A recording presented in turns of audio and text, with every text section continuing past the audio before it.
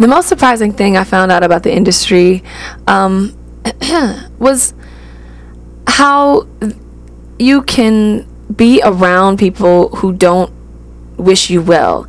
I learned how important it is to have a great team around you, and I'm glad that I've been fortunate enough to do that early on in my career. You know, I, I feel that my team, um, from the label to uh, my publicists to uh, management to my lawyer to my business management like all of these people mean we mean well for me and and they always protect me and, and make sure that they you know are, are doing that are protecting me. So i found out how important that is because you you're out there naked and and you don't want to be out there alone. You want to make sure that your team has your back and they're they got their eyes and ears open.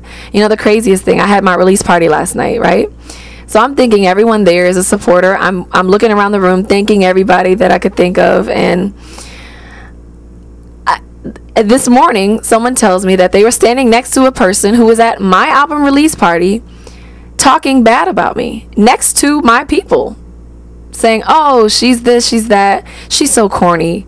Uh, I don't know, I don't know what it is about her. I can't stand. I don't. I just don't like her. I don't feel like I can hang around her." And da, da, da. and I'm like, "Well, why are you here? If you don't mean me well, what are you doing in my circle? What are you doing drinking my alcohol and, and in my section? Like, why are you why are you around me?" And that is so crazy how that can be. I mean, it's not. This industry is not reality. You are a poster and if someone looks at that poster, that piece of art, and says, "Today I'm not feeling that. I don't. I don't really like that." You have to be ready for that. You got to be ready because that that almost I was appalled to hear that, but it doesn't surprise me.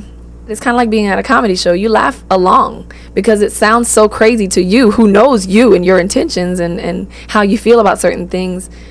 It's hilarious. Yeah, It's funny. Absolutely. It was me talking about you know what people say about me. I mean the same things that i say on the song that people are saying that i said about other people are said about me. Yeah she's a writer. She's cool. You know what makes her think she's she makes an artist? She doesn't stand out. She looks like the rest of them maybe she should go marry an athlete and have some babies. You know the same things that people are saying that you know i'm trying to cover up and retract those things are being said about me.